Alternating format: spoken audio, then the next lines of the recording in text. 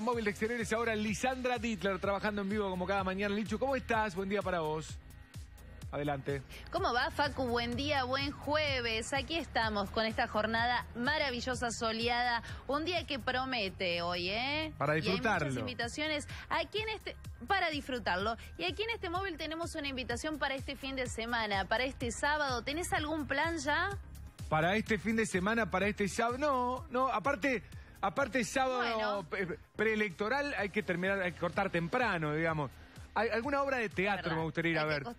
¿Tenés alguna sugerencia? Bueno, mira, justito. Mirá Cuando que- los cerdos arrasan es lo que te vamos a contar hoy esta obra de teatro que se va a presentar este sábado en la Casa de la Cultura. Estoy con Gabriel Cosoy, quien es director de esta obra, Roberto, uno de sus protagonistas, actores. ¿Cómo andan? ¿Todo bien? Buen día. Buen día, todo muy bien. Ah, en las horas previas. Claro, a- ya en los últimos días. Claro, que ese, ese momento en donde te parece que todo va a salir mal, pero mágicamente en el teatro luego todo funciona. Todo funciona. Eh, una obra que ya ha recorrido distintos escenarios. Así es, sí, es una nueva versión que estamos haciendo de una obra que hicimos ya hace unos años y que nos dio la posibilidad de girar por todo el país, también por España. Es una obra que han hecho elencos de Buenos Aires, de Córdoba, de Chile, de Bolivia, de Madrid. Así que estamos eh, haciendo una nueva versión de Cuando los cerdos arrasan, que vamos a estrenar este sábado 26 aquí en la Casa de la Cultura. Un resumen de lo que... La dramaturgia es de él. Ah, muy bueno ese, ese detalle. Pero un resumen de lo que trata la obra, Roberto. Apenas un poco porque preferimos que la Y gente... que lo vengan a ver. Por supuesto, pero era lo que te decíamos antes. Eh, son dos actores que intentan hacer, eh, levantar una ciudad, mejor dicho, un pueblo que se está inundando. Y ahí, este, y en más, pasan cosas O divertidas. sea que sos actor de actores, porque representás a un actor también. Sí, represento a un actor. Sí, sí, sí. Así que es como un teatro dentro del teatro. Qué bueno, bueno, y tienen distintos desafíos, me imagino, dentro de este contexto en el que viven estos actores. Claro, están, ellos tratan de hacer una obra de teatro en un pueblo completamente inundado porque ven que ese pueblo así lleno de agua se está convirtiendo en algo como Venecia, como Ámsterdam, en su fantasía, en su imaginación. Y entonces creen que el pueblo necesita una gran obra de teatro para pasar adelante como un destino turístico eh, de primera calidad.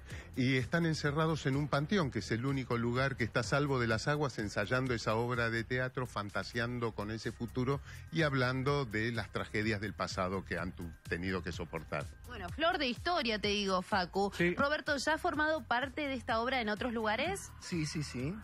He trabajado con él desde hace muchos años. Hemos tenido así como un impas en toda esa época que se nos fue de acá de Paraná y se fue a Buenos Aires. Eh, sí, desde hace muchos años. Yo creo que de los años 90 y pico que estoy trabajando con los desesperados albaneses. Y bueno, esperemos que la gente se acerque a verla. ¿Cómo es el público de Paraná? Eh, ¿Se acerca a este tipo de obras? ¿Se prende? Sí, sí, sí, sí. El público viene a vernos.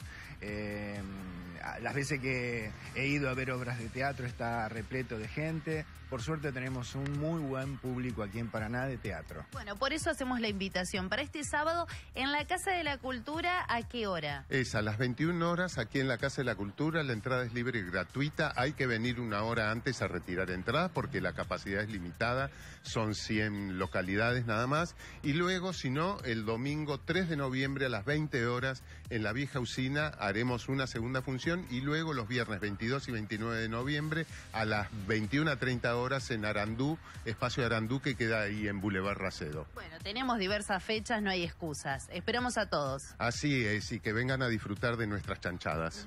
Muy bien, Muy bueno. bueno. Gaby Cosoy, quien es director Qué de esta obra, un Roberto, abrazo. uno de sus actores, de sus protagonistas. Un abrazo grande a Gaby,